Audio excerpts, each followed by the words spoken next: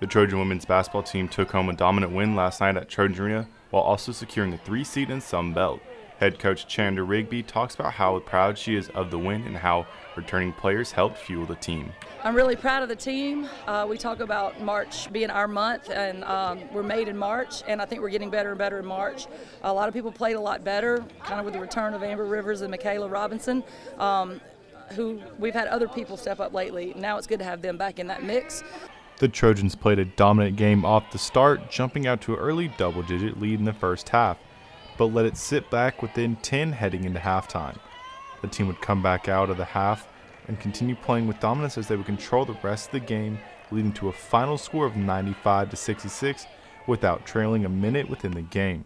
Amber Rivers, who led the Trojans scoring, talks about how much the three seed means to the team. I mean, I know we have to play less games now, so that's a plus.